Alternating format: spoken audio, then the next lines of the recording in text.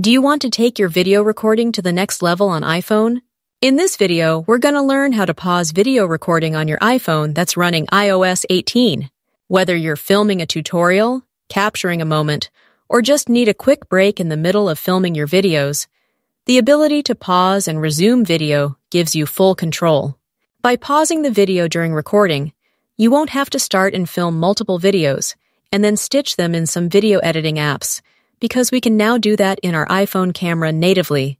All we have to do in order to get this feature is to update our iPhone to the latest software update, which is iOS 18. I suppose that you've already installed iOS 18 on your device like I did, and all we have to do from here is to just open our iPhone's camera app and then go into the video mode. So I'm ready to start filming my video, and I'll just tap on this shutter button right here. And now I'm recording my video. You will see that we have our regular video and photo buttons while the video is recording, but we had that for years now. One of the cool little features which iOS 18 added is this pause option at the bottom left side of the screen. If I tap on this button, my video recording will be paused, and I can now take a break if I have to.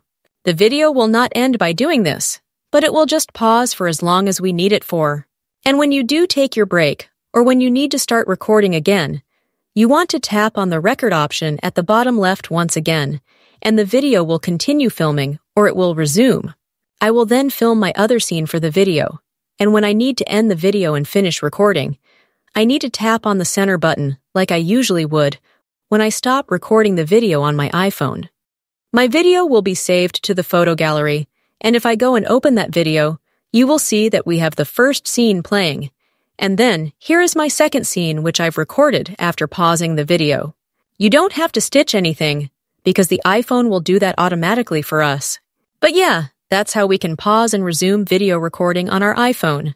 Just update your phone to iOS 18, and you will have the options in the camera app.